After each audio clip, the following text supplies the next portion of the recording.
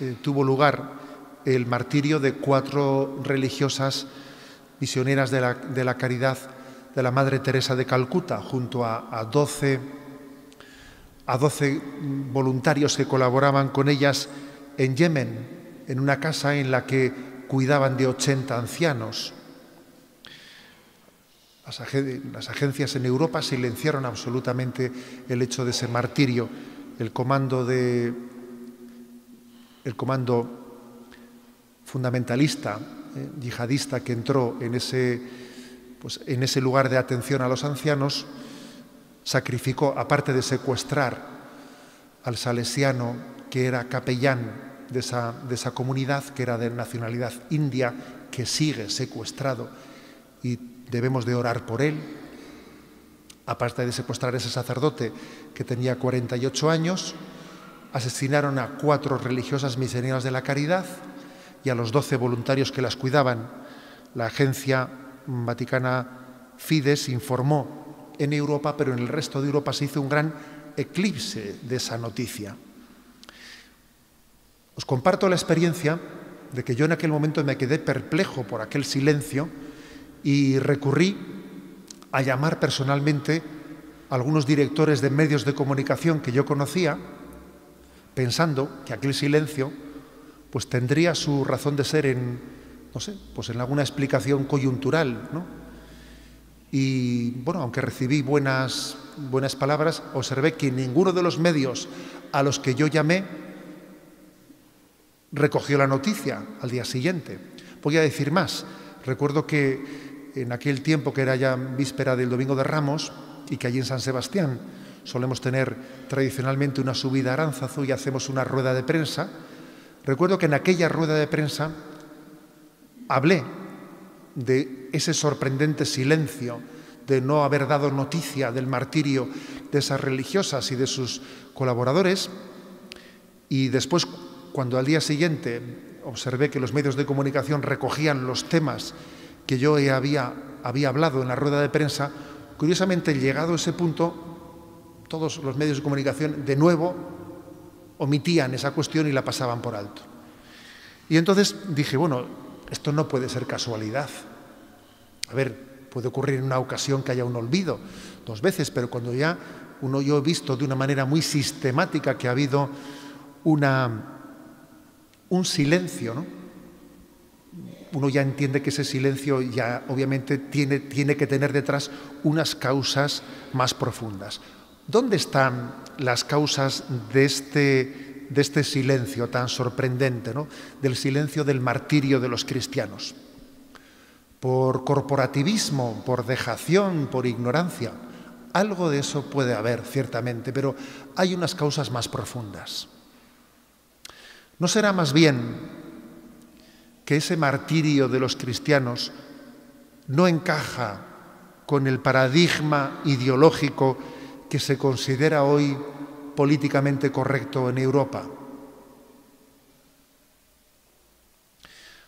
Por ejemplo, fue muy determinante el grave error, el grave error que se cometió en los medios de comunicación en enero del 2015, en enero del año pasado, cuando ocurrieron aquellos atentados de Charlie Hebdo allí en, en París.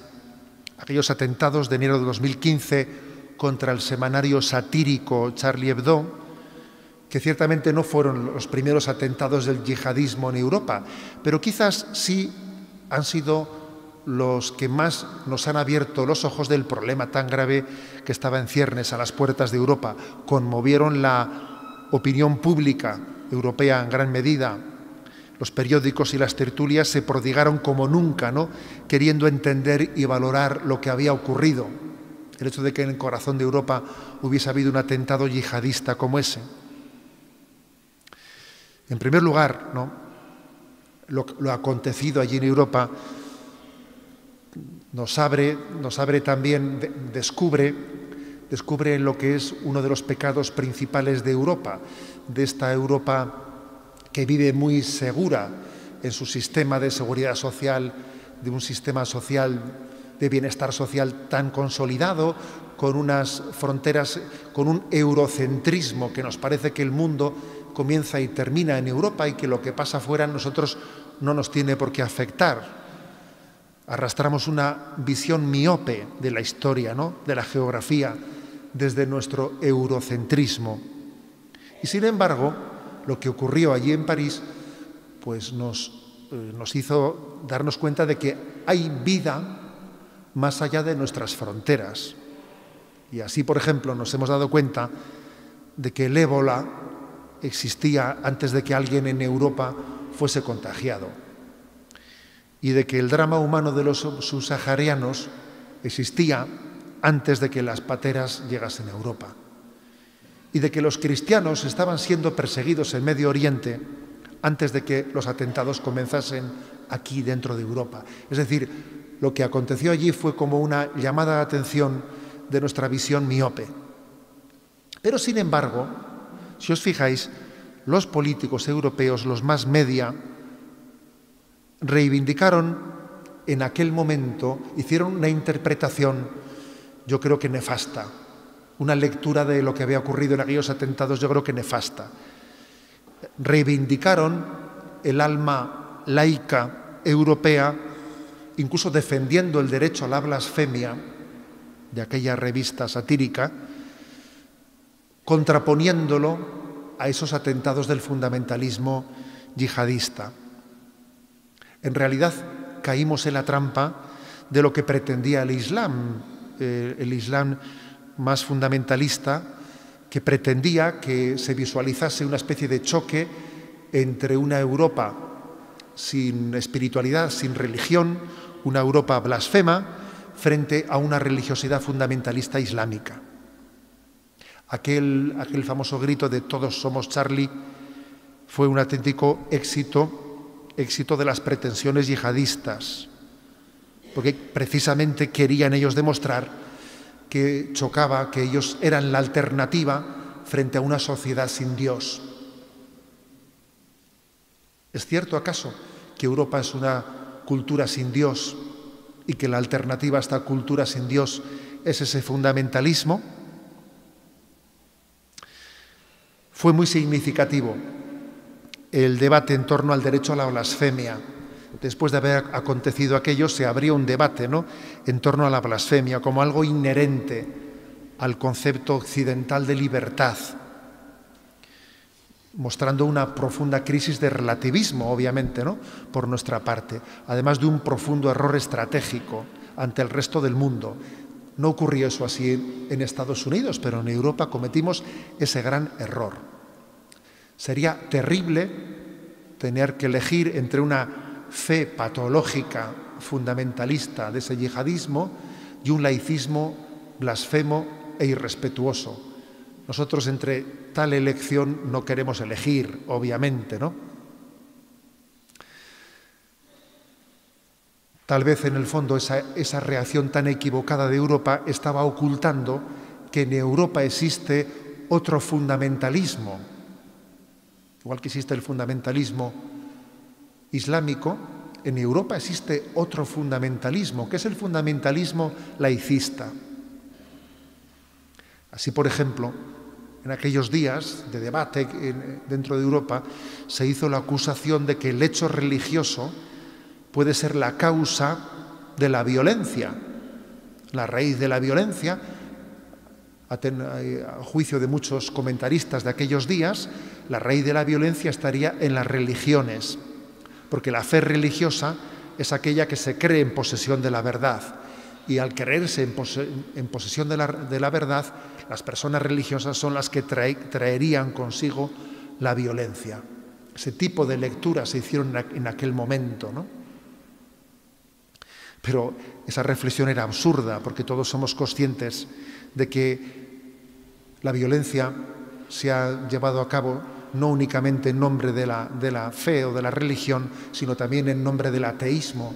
En nombre del ateísmo millones de personas han sido sacrificadas, como también en nombre de la libertad, la guillotina francesca, francesa, o en nombre de la raza, en nombre del dinero, en nombre del dinero, en nombre del deporte en nombre de muchas cosas se ha justificado la violencia, porque en el fondo todo ello son excusas ¿no? para eludir la propia responsabilidad. En realidad, la única causa de la justicia es nuestro egoísmo, nuestro materialismo, nuestra soberbia, nuestro deseo de poder. Esas son las verdaderas causas de la violencia. Ni es cierto que lo sea la religión, ni siquiera lo es cierto que sean todas, esas, el resto de las falsas causas a las que yo me, me he referido. Por eso, en primer lugar, hay que decir que el martirio de los cristianos está siendo ignorado en Europa, increíblemente silenciado, acaso porque contradice el paradigma, el paradigma de una Europa laica que no se siente a gusto con el hecho religioso y no sabe, por lo tanto, y no tiene la capacidad de, de dar cuenta de el testimonio martirial y recibir de él una gran lección. Más aún, hay que decir que la Europa laica o laicista ha dejado que el yihadismo nos arrebate o nos pretenda arrebatar el verdadero concepto de martirio. Parece como si nos hubiésemos avergonzado del concepto cristiano de martirio. Porque el, concepto cristiano de martirio, entre otras cosas, realiza una gran aportación para la paz y la convivencia. Y sin embargo, ese concepto pervertido de martirio yihadista, pues es bien contrario, es un fanatismo pseudo religioso que impulsa la inmolación en atentado terrorista. Se le llama martirio, pero es exactamente lo contrario. Se trata de una perversión del término. En ese falso martirio yihadista, el mártir deja de ser víctima para pasar a ser verdugo. Deja de tener el amor como motor de su vida para cambiarlo por el odio.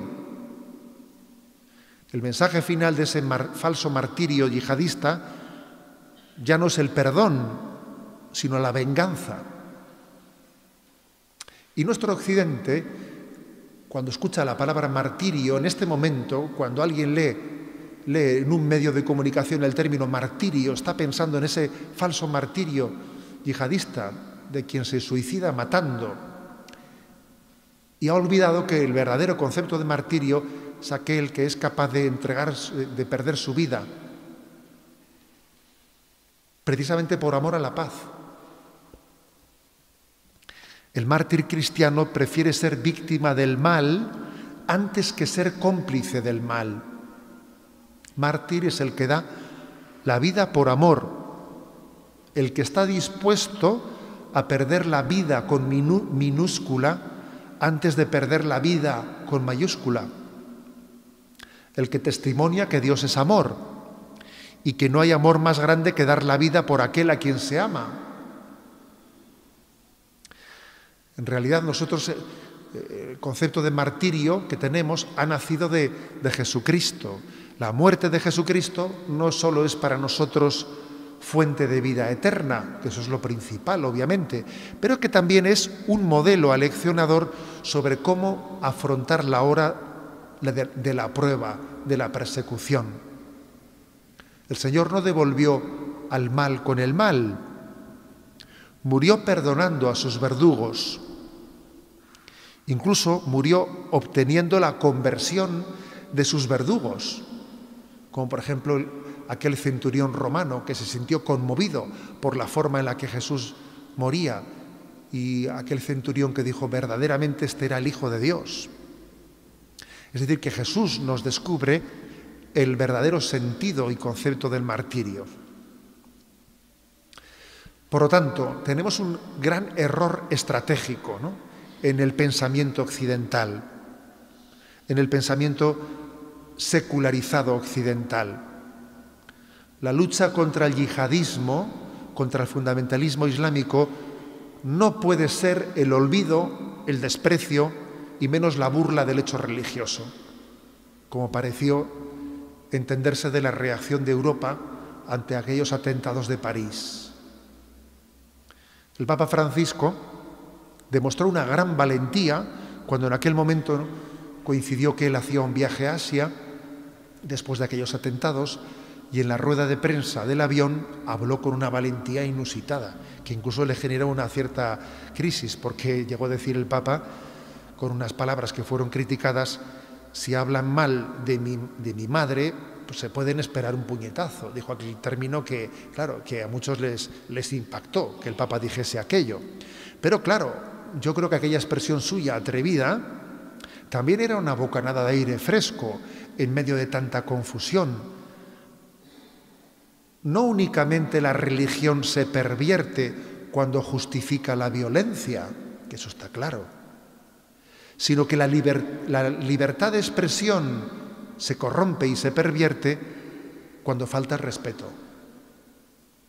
Y cuando falta respeto de las convicciones más, más íntimas de los demás. Repito, que entre una fe patológica y un materialismo hedonista e irrespetuoso con el hecho religioso por el otro lado, sencillamente no queremos elegir. Y Europa, en su paradigma políticamente correcto, eligió equivocadamente. Porque la alternativa no puede ser la blasfemia ni el relativismo sin valores espirituales, sino una, sociedad abierta al verdadero sentido religioso de la vida, en la que se viva el respeto, el encuentro y el diálogo entre todas las religiones, así como el encuentro y el diálogo constructivo entre creyentes y no creyentes. Creo que esto